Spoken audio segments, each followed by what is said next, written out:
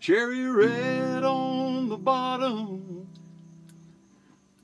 cold black on the top. It didn't take but one time to blister to find that stove was hot.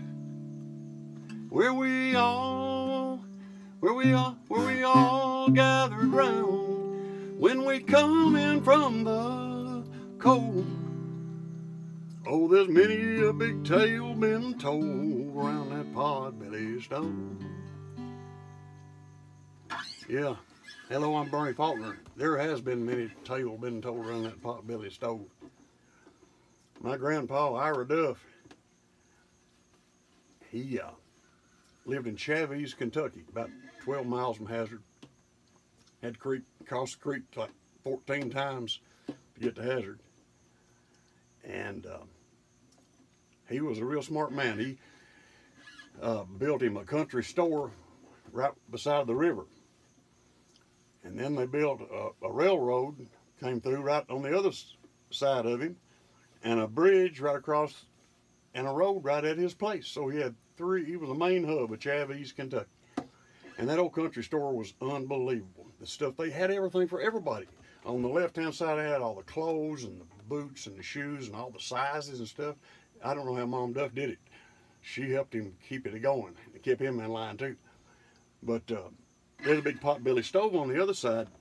And uh, if you know what that, anybody knows what a pot-belly stove is, know what I'm talking about. And uh, we get up early in the morning, man, and before the sun come up. And I'd carry out the ash bucket. He'd start putting kindling in there and start that fire going. And I'd go out there and empty the ash bucket and fill it up full of coal. And he'd get that thing blazing pretty good with wood. And he'd start throwing on the coal to it, son. Then it started smoking and cracking and popping. He'd close that door up. And he, every now and then he'd open it back up, stir it a little bit, and it'd smoke and go on. And then, buddy, that's when you started feeling the heat. The bottom of that thing turned just as red blood as you can imagine. And hot is oh, more of an orange, orange hot. Golly, it was just like, I didn't know why it didn't melt. Well, it's cast iron, that's why it didn't melt. Anyway, many, many years later, I got thinking about all that stuff. And my dad Duffy played banjo. They called him Ruck because he rucked his fingers over the banjo. They get around town and play, play songs and stuff and it was just special memories to me to hear all those tales. And uh, the tales around the potbelly stove, man, there's a bunch of them that I, I, can carry down, you know, that they told me, and then, and then the ones that I've seen happen around. But anyway, I got the idea for that song, and I started uh, playing around with it, you know. And uh, I don't know if you know or not, but a hit song is never written. It's uh, rewritten and rewritten and rewritten and rewritten. So here's what I came out with. It was my job when the weather got cold to cut up the kindling and carry in the coal. Grandpa would light up a diamond kitchen match. He'd get her smoking and I'd carry out the ash. Well, when he'd get her going good, he'd pour on the coal. It'd pop and crack and the black smoke would roll. He'd open that old ash door and give a careful stir.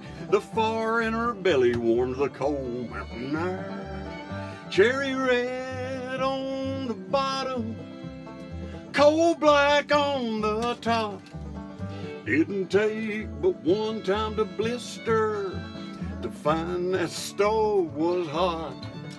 Where we all gathered round when we come in from the cold.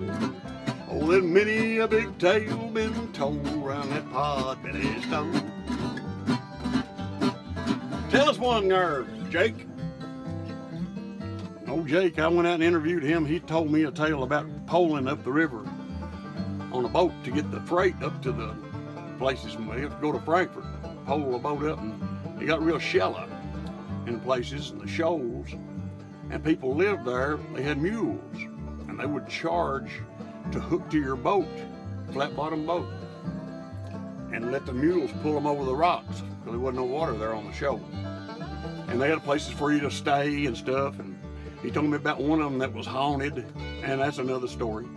But anyway, the little boys had them a good time. They had a, a moonshine still on their boat called Old Black Mott. And uh, I said, what'd you call it, Old Black moth. He said, well, because when you built the fire around it, it turned real black and moth was a ant or something, I don't know. Anyway, them boys had them a time. They worked hard, but they had them a time back in those days. Oh, mercy. Anyway, that's kind of how Potbelly Stove came about. Um, it's a special song to me because it, it's about where I grew up and, you know, special memories. Until next time.